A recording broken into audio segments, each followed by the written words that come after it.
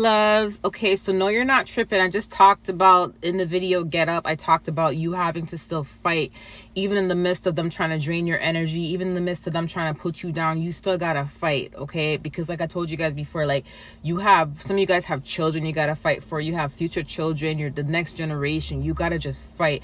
There is a spirit of laziness that's being casted upon people. You know how i feel about the word lazy? I don't like calling anyone lazy because a lot of the times it's warfare you may be a very ambitious a very outgoing person but for some reason you don't have the drive like you used to you don't have the enthusiasm like you used to, the ambition like you used to. You're like, what happened to me?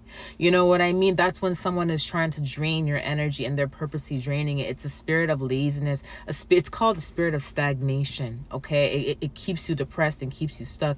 That usually happens when there's someone doing work on you. Most of the times, they do a graveyard ritual for that to happen. Let me tell you about a graveyard ritual. When they do, because this happened to me, when they do a graveyard ritual on you, your whole life feels dead. It's like everything in your life just feels dead. You feel like you have no motivation, no ambition. You feel like you're not going nowhere in life.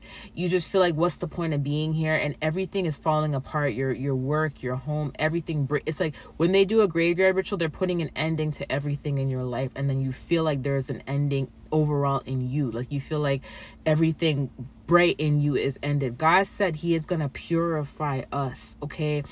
He is fighting in the spiritual, but just because God is going to purify us, we still have um obligations, we still have responsibilities in the physical that we have to do for the Lord. We still got to fight. You get what I'm saying? Like we still have responsibilities. Don't let the stagnation make you say, you know, I'm gonna lay down for 10 more minutes. I'm gonna lay down for an hour. You know, I'm just gonna take a quick rest. And then that turns into you being on your phone all day, laying in bed all day. Don't let that happen, okay?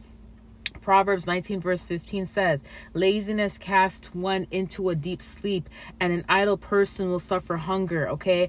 Um, it also says in, in another scripture in Proverbs that those who rest during harvest time, they don't receive the fruits of their labor. Do you get what I'm saying? Because your hands working hard, you bring in results. God has his children working really hard. Okay. We don't just sit around and do nothing. And if you feel like something's happening where you're sitting around doing nothing, there's probably a spirit of stagnation and laziness that's upon you. And we got to rebuke that in the name of Jesus. Lord God, anyone that is suffering from the spirit of stagnation, the spirit of laziness, the spirit of depression, the spirit of anxiety, we cast it out in the name of Jesus. We're rebuke it in the name of Jesus. And anyone that is suffering, Lord God, and their names that are on any demonic altar, remove their names off every demonic altar in the name of Jesus. Break every curse, Lord God, in the mighty name of Jesus. Hallelujah.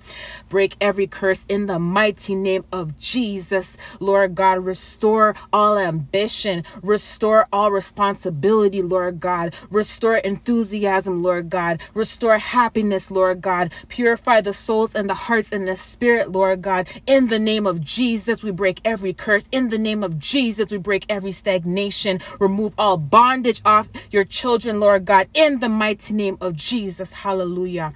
Hallelujah. I love you guys. I'll talk to you soon. Bye.